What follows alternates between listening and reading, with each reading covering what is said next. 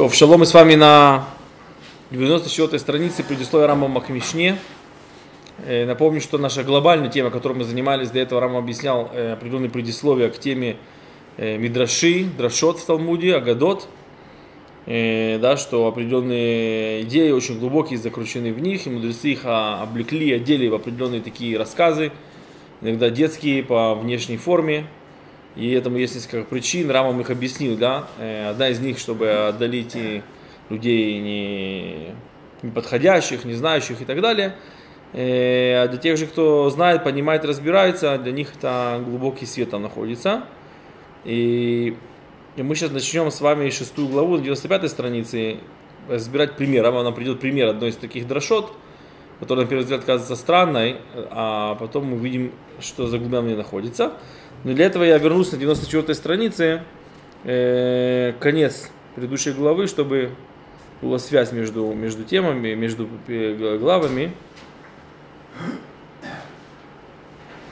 Я начинаю, э, и в прошлый раз мы объясняли это выражение мудрецов, что те, кто глумятся на славе мудрецов в самом начале 94 страницы, в самом верху, те, те будут вы, в будущем наказаны тем, что их вымажут и э, кипящим калом. Да? И прошлый, под, прошлый урок мы подробно об этом говорили, сейчас мы уже после обеда, поэтому не будем снова повторять эту тему про кипящий кал.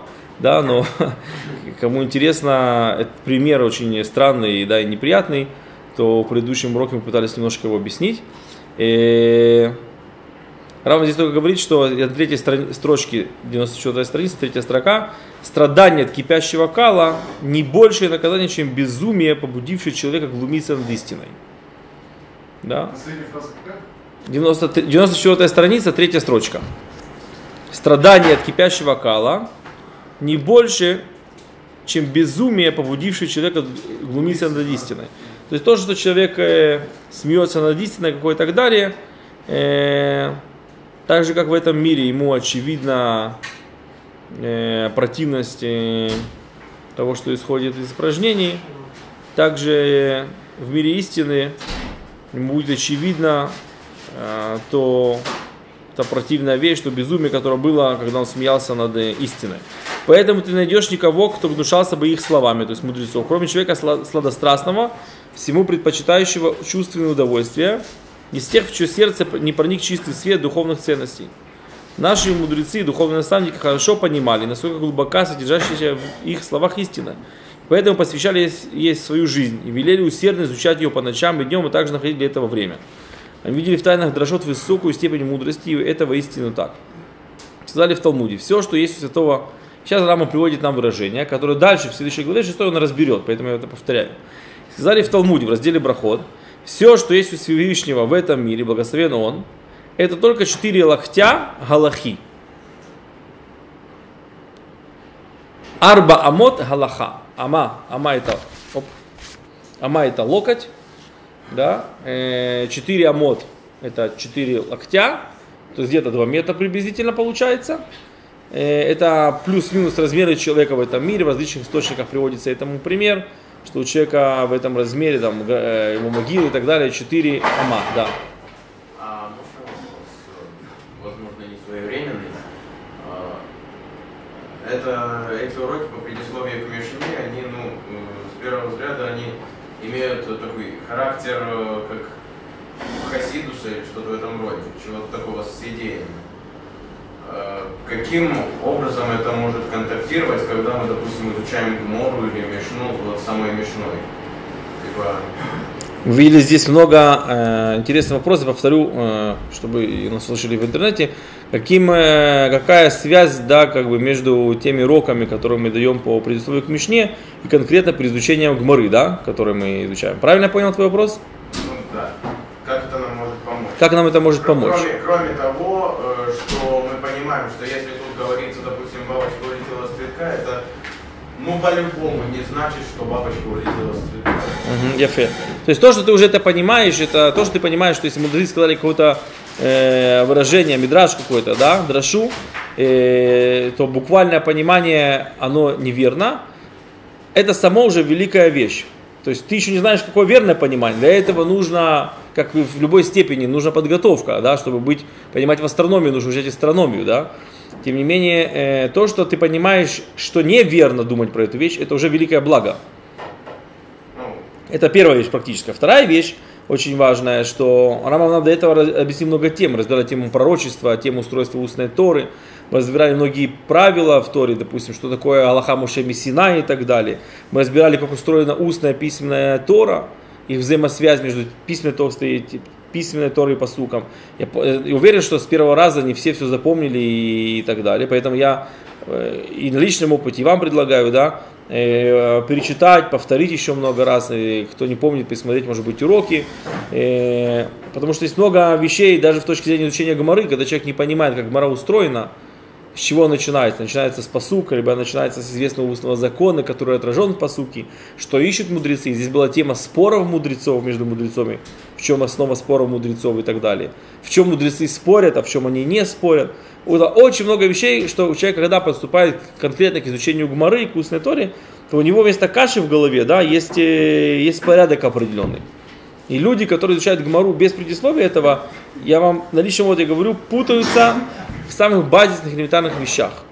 И всегда складывается ощущение, что что-то неясно, что-то непонятное, э, странные вещи здесь происходят и так далее. Поэтому кто много раз это перечитает, чтобы у него это устаканилось, да, э, осело как положено, стало ясно, то, что я это объясняю, это может быть помощь какая-то, но пока человек сам не приобретет это, не узнает, э, э, мы отключились, это самое, тебя не было, когда мы все торжественно отключились, но мы отключились. Э, то есть, грубо говоря, вот предисловие к Мишне, это, так сказать, голоса. Э, Сборник понятий. Сборник понятий – это правильный вход в устную Тору. То есть без, без этого войти в мир устной Торы и, соответственно, письменной Торы, да, потому что нет входа в письменную Тору без устной Торы, он э, путаница одна большая. Для людей, которые изучают Талмуд, да, для них прежде всего это нужно. Но это вообще, как бы, здесь много из принципов. Мы видели пророчество здесь, да, много законы пророчества, Рама объяснил, там принципы определенные и так далее.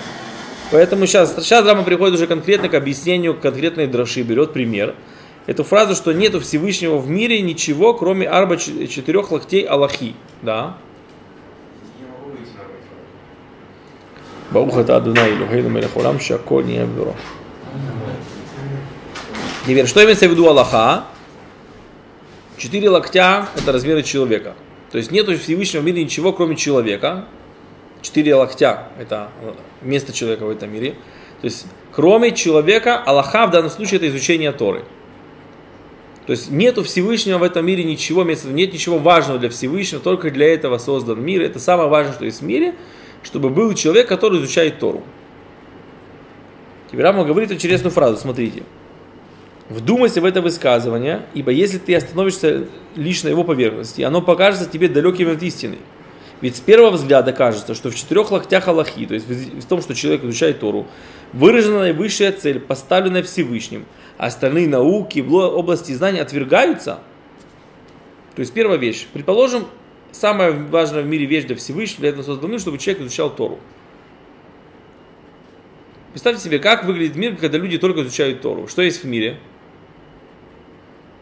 Мир не развит, есть пещеры, какие-то свечи, может быть, и так далее. Мир находится в потемках, в болезнях, в эпидемиях, нет мозга, на кондиционера там, и так далее. Как выглядит мир? Да и для изучения Торы нужны другие науки. Ведь нельзя постановить Аллаху если, э, в, в области кошер, кошерности животных, если не знаешь зоологию, физиологию, биологию и так далее. Как знать, что это смесь двух э, запрещенных видов растений, которые нельзя смешивать, если не знаешь ботанику и так далее? Как можно установить законы Рошходыш, если не знаешь астрономию? Как можно установить законы семейной чистоты, не зная э, физиологии и устройства женского организма там, и так далее, всех нюансов, оттенков крови там, и так далее. И еще много-много-много других вещей. То есть сама Тора не может быть Торой без знания э, определенных наук. Без математики, как посчитать вещь невозможно и так далее. Есть это выражение, что у Всевышнего единственное, что есть у Всевышнего в мире, это человек, изучающий Тору, то есть это четыре ама Аллахи, то есть да, это территория, в которой изучается Тора. Это очень страшное выражение. Остальные науки и области отвер- знания отвергаются. Это первый вопрос Рамбама. Второй вопрос. И в эпоху Шема и Эвера, да и последующие поколения, когда не существовало Аллахи, то есть еще не было даровано Тора, в мире не было ничего относящего ко Всевышнему, то есть для Всевышнего все это было пусто, ведь наши працы изучали Тора, Авраам учился Виши, Мишема и Эвера, еще не было даровано Тора, но там что-то изучалось, какая-то была традиция тут первого человека и так далее, какой-то глубины изучались, какие-то, может быть, тайные Торы изучались, что для этого Всевышнего все это не важно? То есть, что это за фраза такая? Нет, говорят мудрецы в Талмуде, в разделе Брахот, все, что есть у святого Творца благословен в этом мире, это четыре локтя Аллахи. То есть это единственное, что его держит в мире. Это самая важная вещь. Для этого мир создан, все остальное не имеет никакого значения. То есть Рам, Рама говорит, да, если понять по-простому это выражение, оно аннулирует, э, делает весь мир не, не актуальным и релевантным. И оно, в принципе, непонятно, потому что невозможно изучать даже Тору без других, других дисциплин, других э, знаний.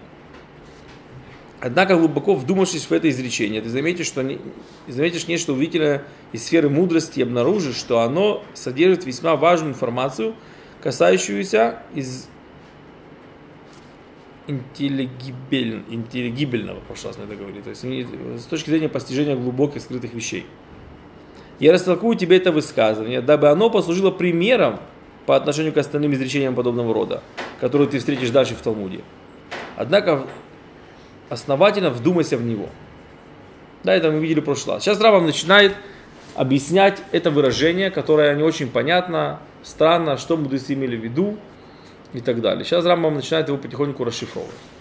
Я на 95-й странице, 6 глава мы начинаем. Знай, что древние, да, на иврите написано интересно, что кадмуним. Кадмуним это можно привести как древние, но имеется в виду мудрецы предыдущих поколений. Предшественники. Да, предшественники. То есть речь идет о мудрецах, не о древних людей, там, которые бегали с повязкой, папуасы какие-то и так далее. А мудрецы предыдущих поколений, обладавшие проницательностью и познаниями, проделали титаническую философскую работу –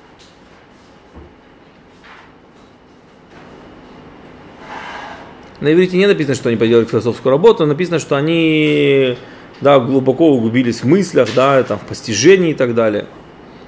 Вот здесь они добавили философскую работу, в результате которой им открылась истина, что все, все в универсуме, то есть все в творении имеет цель, ради осуществления которой и было ему даровано бытие.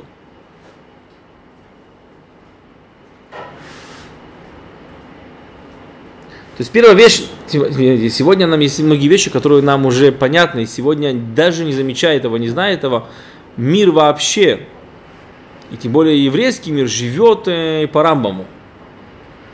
К примеру, то, что сегодня всем абсолютно ясно, понятно, что Всевышнего тело, это Рамбама работа.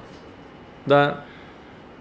То есть мы даже об этом не задумываемся, не знаем, но любой ребенок сегодня, неважно, он вырос в Хабаде, в Бреславе, там, язная кипа, черная кипа и так далее, он живет по Рамбаму. Да и мир в большинстве своем живет по Рамбаму во многих аспектах, да, то есть многие идеи Рамбама распространились. Поэтому здесь есть фраза, которая может быть сегодня нам более-менее ясна.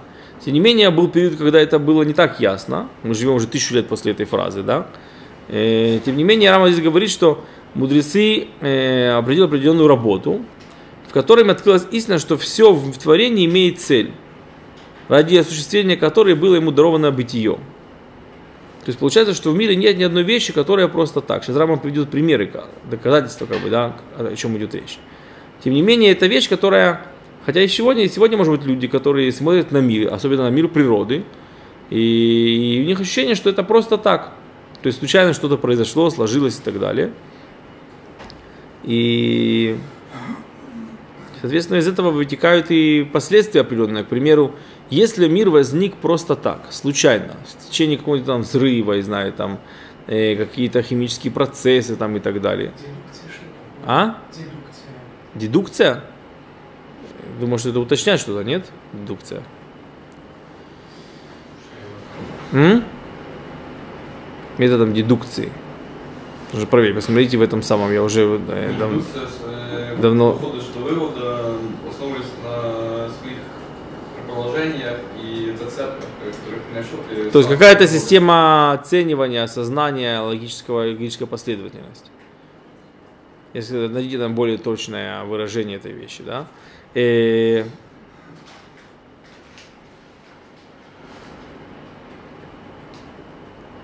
О чем мы говорили? И...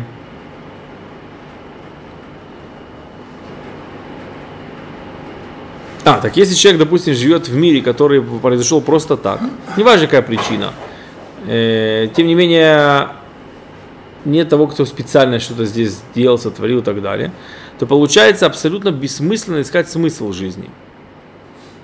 Ведь если мир возник в результате какого-то взрыва, что-то случайно взорвалось, там, или какой-то микроб, там, туфелька какая-то, инфузория туфелька в итоге развилась, стала рыбка, а эта рыбка стала, там, не знаю, там, млекопитающим и так далее, в итоге стал, проявился человек, это, неважно какая теория, если эта вещь случайная, то нет никакого смысла искать себе смысл жизни. Почему? Потому что все случайно. Любой смысл, который ты находишь, он, он обманчив. Потому что нет смысла у творения, все случайно. То есть у человека есть внутри ощущение, что должен быть смысл жизни, а он живет в мировоззрении, что мир он произошел случайно. Поэтому, с одной стороны, он пытается найти какое-то значение жизни, потому что внутренний позыв-то у него есть к этому. С другой стороны, его рамка, концепция, в которой он живет, говорит ему, что нет. Соответственно, все, что он находит, он не может почувствовать в этом какое-то удовлетворение, потому что это он выдумывает смысл жизни, но на самом деле все случайно. Тем более те теории, которые говорят, что этот мир, так же как он начался, он и закончится большим взрывом, то все очень пессимистично. Но если мы знаем, верим, приняли по традиции, это вещи, нужно, которые нужно изучить, проверить, да, что мир создан, то тот, кто создает мир, у него есть какая-то цель, для которой мир создает. Соответственно, у всех творений, которые находятся в этом мире, есть какая-то цель, какая-то миссия. Тогда я действительно должен найти свое предназначение, раскрыть его, и тогда оно будет верным. Потому что действительно мир создан для чего-то, не случайно, для чего-то. И, соответственно, у меня в нем есть какая-то миссия, которую должен реализовать. Тогда это вещь верная. Нужно найти эту миссию, нужно понять, для чего мир создан и так далее. Тем не менее, мудрецам тогда еще в тот период, да, э, они осознали, что весь мир имеет определенную цель, и каждая вещь в этом мире у нее есть предназначение. И нет в мироздании никого, ничего, наделенного существованием напрасно.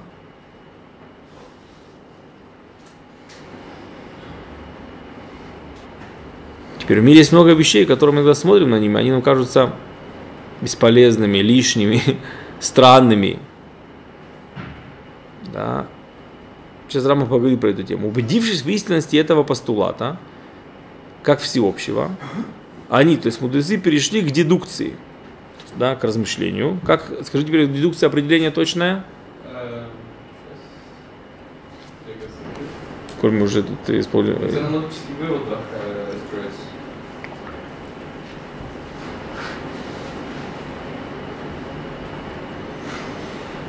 Дедукция Дедукция это логическая методологическая процедура, посредством которой э, осуществится переход от общего к частному процессе рассуждения. О. Это логический э, с помощью логических э, Сделал. Поэтому они здесь на, на так и написано, да, что когда они поняли общий принцип, тогда начали разбирать каждое творение в раздельно. То, что здесь написано. Убедившись в истинности этого общего постулата, постулата как всеобщего, они перешли к дедукции, то есть от общего к частному, да, это, это дедукция, да, применяя его к отдельно взятым формам бытия с намерением узнать истинную цель существования каждой. То есть тот момент, когда мудрецы постигли, что у всего мироздания, у всего целого есть предназначение, теперь они решили, э, хотели проверить предназначенность всего, что есть в мире. Какая конкретно у каждого есть своя подмиссия, да? Допустим, есть миссия подразделения, там, захватить какой-то объект. И у каждого солдата есть своя какая-то подмиссия, у водителей своя миссия, у нацельщиков своя миссия, там, не знаю, там, у пехоты, у авиа и так далее. Да? И, а потом еще, внутри этих взводов есть еще подмиссии и так далее, еще подмиссии. То есть вопрос, если я начинаю с этих под подмиссий, то тогда я запутываюсь, мне не ясно, может быть, даже почему. Потому что если я не понимаю общего принципа, то не могу понять, почему этот солдат здесь стоит. Все воюют, а он стоит. Бездельник, да? Я смотрю в бинокль, какой бездельник? Я его пах, снял, да? Застрелил предателя. Нету не бездельник. Он этот самый, он на вышке стоит. он тот, кто трубит там, по рации всем все передает, там у него миссия есть. То есть, если я не знаю общего принципа, то мне и частная миссия иногда непонятна. Поэтому человек, начиная с себя, какая цель моей жизни, в тупике. Почему? Потому что он видит себя маленьким объектом в этом мире, который живет там 70-80 лет, максимум 80 лет, как говорит царь Давид. Что он может из этого понять? Ему нужно увидеть сначала общую картину, осознать, как здесь написано, да, что они познали истину всего универсума. Когда ты познаешь истину всего творения, для чего Всевышний создал все творение, тогда можно перейти к тому, для чего созданы животные, неживой мир, я знаю, растительный мир, человек, народ Израиля и так далее – потом я могу еще делать больше да, э, углубления, да, каждое отдельное там поколение и так далее. Нужно понять, допустим, в нашем поколении, чтобы я знал, что мне делать, как мне делать шуву, как мне служить Всевышнему, я должен понять, в чем миссия нашего поколения. То есть я должен понять, в чем миссия всего мира, и понять, в чем конкретно миссия нашего поколения. Ведь я рожден в этом поколении, в предыдущем. Когда люди живут в этом поколении, а думают, что они в предыдущем одеваются, соответственно, в, э, в таком же стиле, ведут себя. Есть люди, которые в Израиле воюют с солдатами религиозные, как будто они находятся в царской России, как будто Нетаньягу там, или Беннет, да, там, это царь Николай, а они в царской России, и они воюют так с нашим правительством. То есть для них ничего не поменялось, они забыли поменять эпоху. Осталось, осталось все тоже осталось. То есть они не понимают, что это уже Израиль, а не Россия, что наш премьер-министр с его проблемами – это наше правительство с нашими проблемами. И методы должны быть другими, и подход должен быть другой. Тоже не э, подполье должно быть здесь какое-то. Это не Британия. Мы не в Израиле во время британского мандата, где у нас подпольная, подпольная сеть, и мы тут теракты совершаем против британцев там, и так далее. Это не турецкий мандат никакой там и так далее. Это уже наше государство, уже другие методы. То есть не понимая историческую эпоху, культурно-духовную, в которой мы живем, непонятно, что мне делать, какая миссия моя здесь в этом вещи. Да, поэтому...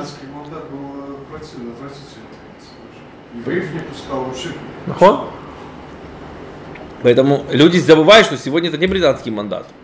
Знаешь, что все уже Машех пришел? С кучу проблем. Но есть разница между проблемами в России с царем Николаем и Махшимо, да, и нашими, и нашими проблемами с нашим правительством.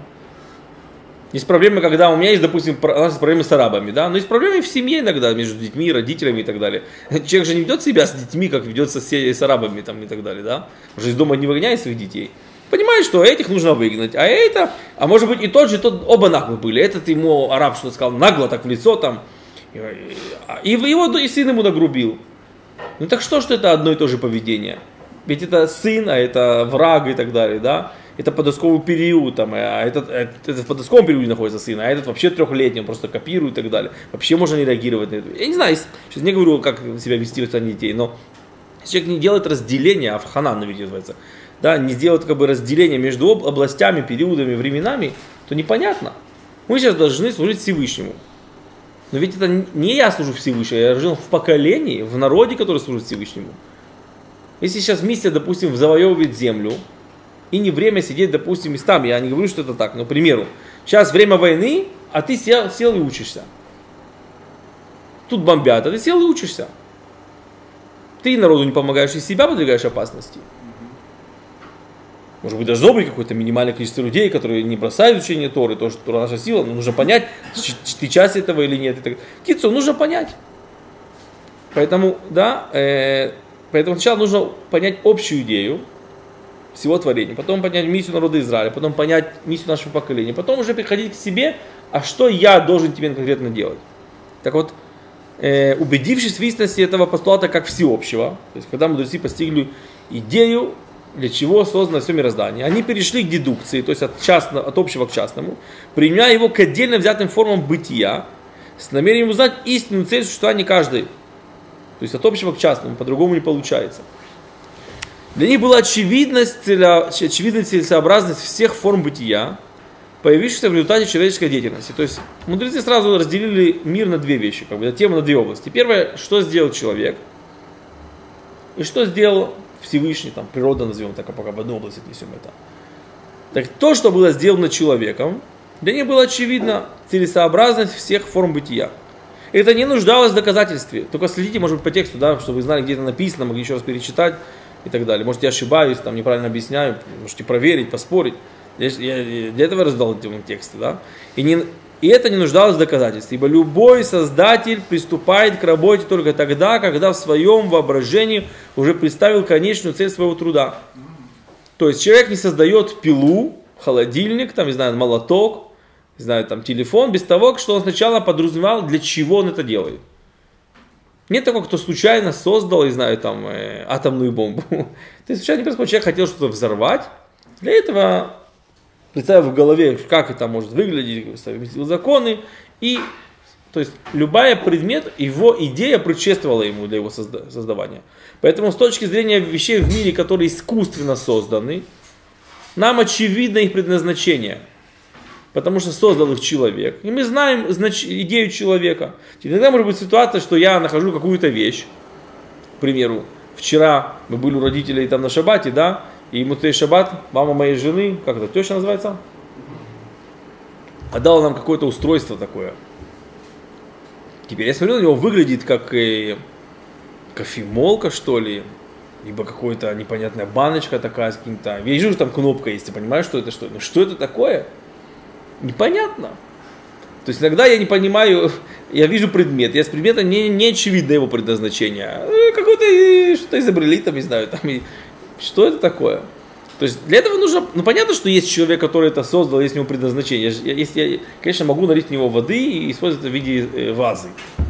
Но я это не использую по предназначению. Да? Поэтому нужно спросить человека, который это создал. А оказалось, что это устройство, которое опускает холодный пар. Когда вот кондиционеры работают, да, и они всем высушивают, высушивают воздух, очень важно, из этого могут быть всякие там хронические вещи, могут быть все время сухость. Воздуха. Да, увлажнитель воздуха просто называется. Это может быть, э, там, человек даже может у него быть э, наоборот э, реагировать там кашлем, на, на соплями там и так далее. И как раз из-за того, что воздух все время может голова болеть, так если увлажнитель воздуха, он пускает такой холодный пар делает. Так как ты не понимаешь, как бы, что это такое, да? Ну понятно, что есть предназначение, только нужно спросить создателя, для чего он это создал. Так может быть создать вещь такая, что мы нашли какой-то в этом мире предмет, созданный человеком. Просто не знаем, э, для чего он создал, но это чисто наша проблема. Понятно, что у него есть цель. Пример приводит Рама. Например, изготовление пилы. Кузнец не приступит к работе над ней, то есть создавать пилу. Он сейчас первый раз в мире создает пилу. Пока не представит, как он разделит части целое, части целое, как на- разделит на части целое дерево, и создаст мысленно будущую модель пилы. То есть стоит человек, у него перед ним есть огромное полено такое, дерево, ствол. И он сейчас думает, как мне его разделить. Как мне это дерево разделить на... Если, бы я могу разделить на какие-то куски, мне бы было там, я могу что-то из этого создать там и так далее. А сейчас перевозить это целое сосну из города в город, это нужно 100 телег такое, да, нужно его как-то попилить. То есть этот человек в своем воображении создал какой-то инструмент, который должен это дело разделить, да, и он сейчас реализует это. Лишь затем он возьмется за работу, чтобы впоследствии использовать пилу по назначению. Поэтому я, когда нахожу пилу, даже если я не знаю, какое предназначение, мне очевидно, что у нее есть предназначение. И предназначение предшествовало этой пиле. Из этого следует, что цель изготовления пилы – возможность разрезать ею на какие-либо физические тела, да, одно целое. Цель топора – разрубать, цель иглы – соединять между собой куски полотна одежды. То есть вещи, еще это не такое ноу-хау, да, здесь вещи простые очень. Тоже можно сказать обо всех предметах, появившихся в результате деятельности человека. То есть всегда мысль предшествует реализации. Гораздо сложнее вопрос целесообразности по отношению к тому, что обрело бытие благодаря деяниям Творца. И, управляет, и управляющему при- природной, природой разуму. А вот вещи, которые созданы Всевышним, и они действуют э, в рамках законов природы, то есть какие-то законы, которые как бы автономно работают, как бы самосуществуют, есть какие-то у них взаимосвязь, там и флора, фауна, я не знаю, там всякие там естественные какого-то воды природе и так далее, силы определенные, да. Вот эти вещи, нам зачастую не очевидно их предназначение. Гораздо, гораздо сложнее вопрос целесообразности по отношению к тому, что обрело бытие, благо- то есть, да, что существует благодаря деяниям Творца и управляющему природой разуму. Вот эти вещи нам не очевидны. Потому что иногда эти вещи выше нашего понятия, а иногда нам некого спросить. То есть, если, если я могу найти изобретателя пилы и спросить, для чего это создал, скажем, да, ну, что ты не понимаешь, распилить, а? то Всевышнего не можем пойти за руку подернуть, сказать, э, для чего ты это создал. Поэтому непонятно, зачем нужны различные виды деревьев, трав, полезных ископаемых, камней, животных. Скажем, люди там еще, там, не знаю, тысячу лет назад нашли нефть. И непонятно, зачем в мире есть такое количество нефти. Пока не пройдет много десятков, сотен поколений, и из этой нефти не начнут делать полиэтилен, бензин, без э, чая без кофеина там и так далее. В общем, есть разные вещи, что можно делать из нефти и с помощью нефти и так далее. То есть это было уже, это существовало, но нам было не открыто. Иногда это берет целые поколения, чтобы нам эти вещи открылись. И люди, которые жили тысячу лет назад, он смотрит на этот мир и думает, зачем это все создано? Для чего? Бесцельность какая-то. Есть вещи, которые существуют бесцельно. Целесообразность некоторых из них постигается путем несложных раз, раз, раз, раз. Куда нужно перевернуть? Секунду.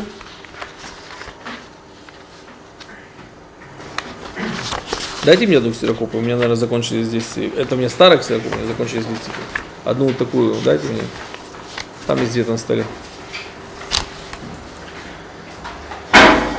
О. Да, какая страничка это была? 96 -я. Нужно скоро да, да, доклеить еще. Много рассуждений. То есть иногда есть вещи, которые мы да, можем постигнуть, но это не сразу нам очевидно, как э, пила, для чего создана пила. Да, может быть, человек, когда смотрит на пилу, то он, и, и, и, если это недалеко, как бы, не такое ноу-хау, да, он живет в поколении, где плюс-минус э, техника, научно-технический процесс э, уже существует, то он, в принципе, может и догадаться, да, для чего это нужно. Но есть вещи, которые нужно э, мы можем их достичь, их, понять их, их предназначение путем несложных рассуждений, а других путем глубоких исследований. Есть вещи, которые как нефть, допустим, да? Ну, это нужны глубокие исследования этой вещи. Среди них есть такие, чью целесообразность не может определить и самый проницательный ум. можно найти в нашем мире такие вещи, что даже самые великие ученые, естественно, не могут понять, для чего эти вещи существуют, их предназначение – она скрыта настолько, что ее вообще невозможно постичь. Единственный путь к ее познанию – пророческое видение или способность проникать в тайное. То есть есть вещи в этом мире, к примеру, понятие жизнь. Где она жизнь? Откуда она приходит? Куда она уходит? Как она связана с, с телом, да, и так далее. Это вещи, которые уже не так легко постичь, понять, посмотрел, э, немножко подумал и уже ответил на вопрос. Есть вещи, которые сегодня являются тайными, абсолютно как бы непонятными явлениями для, для ученых. Так есть такие вещи, которые Всевышний открывает нам иногда их в пророчестве. То есть наука не всегда может проникнуть эти вопросы. Либо познание каких-то тайн Торы. Например, мудрецы в Талмуде знали многие вещи, там, физики и так далее в мироздании, которые сегодня знают ученые – не потому, что у них тогда уже были эти технологии, технологий не было.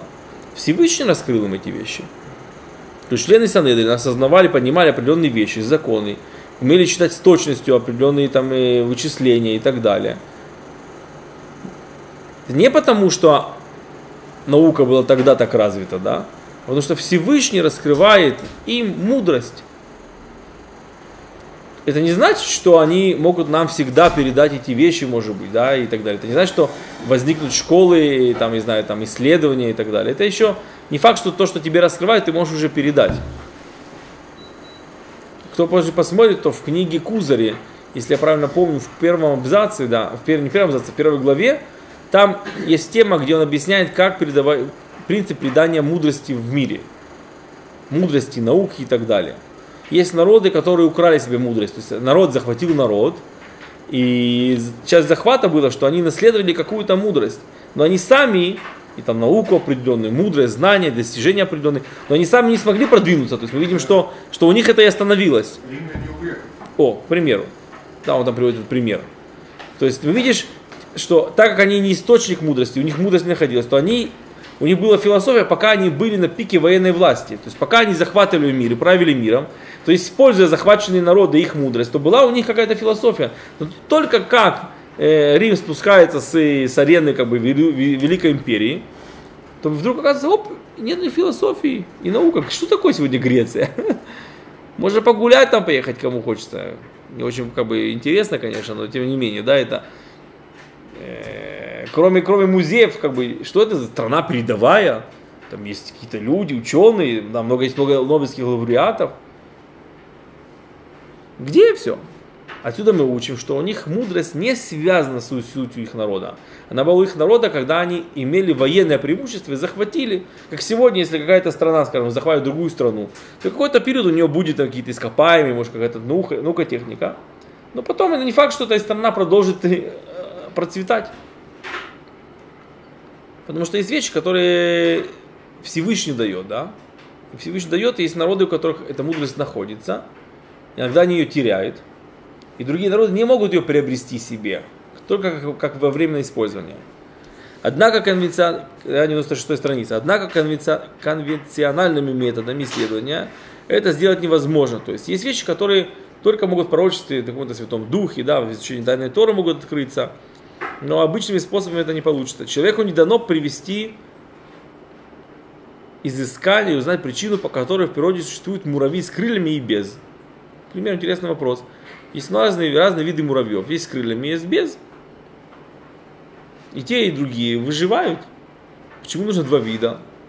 И десятки видов муравьев. В чем, для чего Всевышний их создал?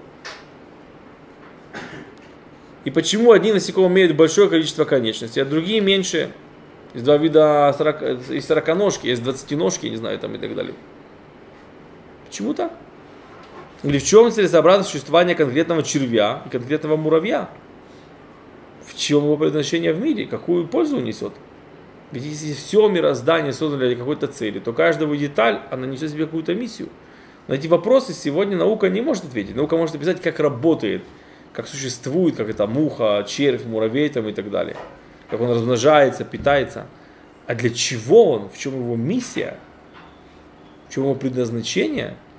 Цель? Наука этот вопрос не спрашивает. Это уже вопрос философский, да? Это вопрос уже не технический. Говорит Рамам так, но если перейти к вопросу целесообразности бытия более крупных созданий с более выраженной природной функцией, то здесь можно говорить о преимуществе одного ученого над другим. Чем более учен человек, тем чем сильнее его усердие и светлее ум, тем больше количество созданий, чья целесообразность становится ему известной. То есть, когда речь идет о каких-то больших творениях, допустим, корова, слон, там, не знаю, лошадь и так далее, собака, то иногда более-менее очевидно его предназначение, какая-то его функция и так далее. Если еще человек немножко с мозгами, и чем он умнее другого и так далее, то он найдет ему какое-то объяснение предназначения. Но, но чем меньше вещь, чем она ничтожнее, допустим, зачем нужны комары в мире?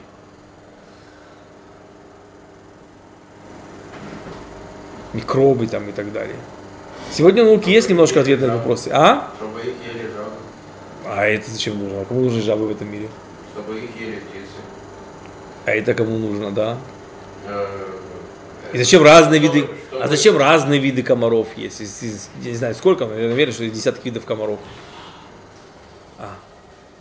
Сейчас, секунду, мы остановимся. Да, поэтому чем, чем крупнее вещь, чем, тем очевиднее его предназначение. Чем вещь меньше, чем э, его предназначение, предназначение менее очевидно. Можно сказать? М, Ну, не знаю. Мне кажется, что предназначение дождевого червя намного более очевидно, чем предназначение слона, к примеру. Да. Ну, червя можно в огород запустить, он тебе там Усилит усилит рост растений. Ну, есть вещи какие-то более- более-менее очевидные, есть вещи, которые нет. Зачем разные виды червей, это уже тяжело сказать. Есть такие, а точно такой же, только немножко другой там и так далее. То есть иногда, иногда Рама не говорит, что это правило, да, э, не говорит, что это абсолютно говорит, что иногда вещь крупную нам легче познать, принять какое-то ее предназначение, чем мелкую вещь. Это зависит от более глубокого человека, он найдет там более глубокое объяснение. Тем не менее, вещи мелкие зачастую намного тяжелее понять их, их предназначение. Перед мы в следующий раз продолжим э, идти по пути Рамбама здесь, да, и попытаемся понять дальше, увидеть. э, Вы помните, что он нам объясняет это э, выражение мудрецов, что нет для Всевышнего в мире ничего важнее, кроме четырех, кроме человека, изучающего Тору. Да? Поэтому пытаемся понять более глубоко, о чем идет речь, почему это так важно. То, шалом.